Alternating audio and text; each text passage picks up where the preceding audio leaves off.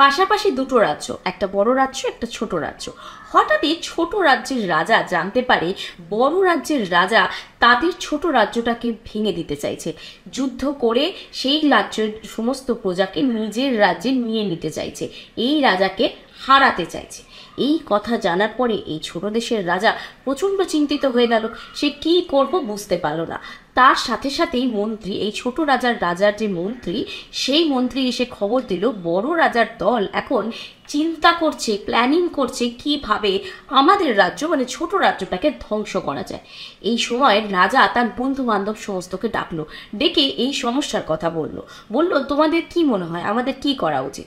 বন্ধু বান্ধবরা সবাই পরামর্শ দিল যে, দেখো আমাদের এইটুকু ছোট্ট একটা রাজ্য, ওদের কত বড় বড় সেনা, একটা কাজ করি, চলো, আমরা নিজেরাই নিজেদের মাথা নামিয়ে নিই তাহলে আর কোনো অসুবিধাই হবে না। তুমিও ওই রাজ্যেই থেকে যেতে পারবে। অন্তত প্রাণী তো বাঁচবে। কিন্তু রাজা এটা কিছুতেই মেনে নিতে পারল না। রাজা ভেতর থেকে একজন বীর ছিল। সে তার সব থেকে পছন্দের যে মন্ত্রী তাকে ডেকে পাঠালো।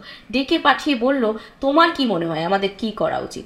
সেই মন্ত্রী বলল, আমার মনে হয় আমাদের এই মুহূর্তে হামলা করা উচিত। ওরা এখন প্ল্যানিং করছে। ওরা নিজেরাও জানে না ওরা এখন কি করবে, কীভাবে যুদ্ধটা লড়বে। আমরা যদি এখনই গিয়ে হামলা করে দিই, ওরা কিছু বোঝার আগেই আমরা হামলা করে ওদেরকে শেষ করে দিতে পারব। তাছাড়াও দেখুন, কালকে যদি ওরা নিজেরা আমাদের সঙ্গে যুদ্ধ করতে আসে, তখন হয়তো আমরা হেরে যাব। কিন্তু হারার আগেই কেন হারবো? তার আগে আমরা ওদের ওপর প্রথম আঘাতটা করি। হারলে কালকেও হারতে পারি, চাইলে আজকেও হারতে পারি, কিন্তু জিতলে সেটা অন্য মাত্রা হবে। আমাদের বীরত্বের পরিচয় হবে। রাজার এই আইডিয়াটা খুব ভালো লাগল। রাজা তার প্রত্যেকটা প্রজাকে এবং প্রত্যেকটা লোকজনকে বলে দিল যে, আমরা ওদের এগেনস্টে যুদ্ধ করব। আমরা সবাই রেডি হব। এই বড় রাজ্য আর ছোট রাজ্যের মাঝখানে একটা ছোট্ট সেতু ছিল। রাজা বড় রাজ্যে পৌঁছে ওই সেতুটা ভেঙে দেওয়ার আদেশ দিলেন। সবাই অবাক হয়ে গেল। ছোট রাজ্যে ফিরবো কি করে? যুদ্ধ যদি জিতেও যাই তারপরে তোমাদের রাজ্যে ফিরতে হবে। আর যদি হেরেও যায়, সেখান থেকে যদি দু চারজন প্রাণে বাঁচে, তারা বাড়ি ফিরবে কি করে? এই কথা শোনার পর রাজা বলল, দেখো, এখন আমাদেরকে বুঝে নিতেই হবে যে আমাদের কাছে একটাই অপশন আছে। সেটা হলো আমরা যাব, ওদেরকে মারব, হারাবো এবং নিজেরা নিজেদের রাজ্যে ফিরবো। সেটা যেভাবেই হোক। পর আমরা ওই রাজ্যে থাকব, যেটাই হোক।